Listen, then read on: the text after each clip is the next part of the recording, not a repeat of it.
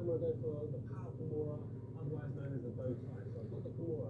Whichever setup that I, I choose to get, mouse trap, underhook, I bait the knee on belly, doesn't really matter, but I've got the Kimura. So what I'm going to do, I'm going to push his wrist towards my hand, I'm going to slide behind the the, uh, the arm forward. As I do that, I grab my tricep and I'm going to grab my elbow. So now I've got him pretty tight. I'm putting a lot of pressure on his elbow.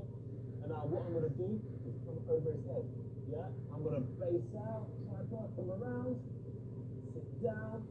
And all I need to do is just turn the same motion.